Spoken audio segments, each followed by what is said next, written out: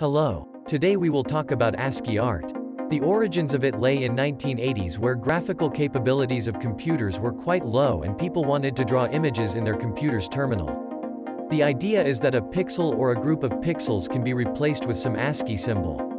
And grouping these symbols in clever way can give us good results. We will take an image and we'll try to convert it to ASCII art. The project will use Golang and I decided to choose a corresponding image. Okay, Let's get to coding.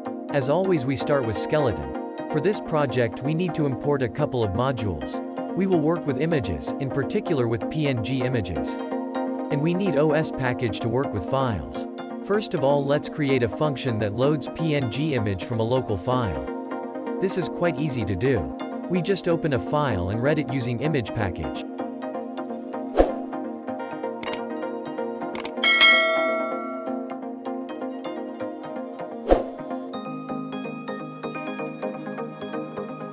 Of course we should not forget about error handling.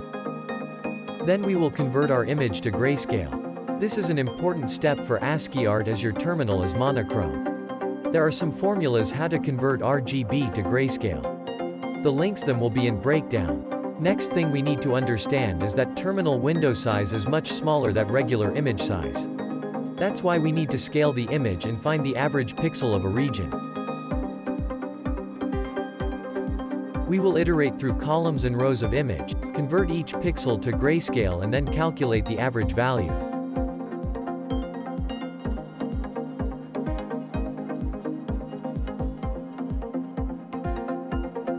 Final step is to map somehow the grayscale average pixel color to an ASCII character.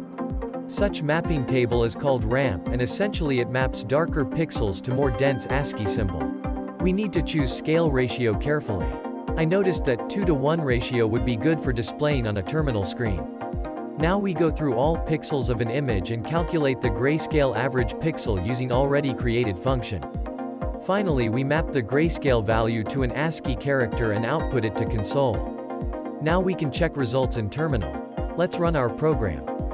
Quite good result. But what happens if we make the terminal smaller and change the scale? Let's try it. Running again. Now we see that the image looks even better. Nice result. That's it for today. Hope you enjoyed this video.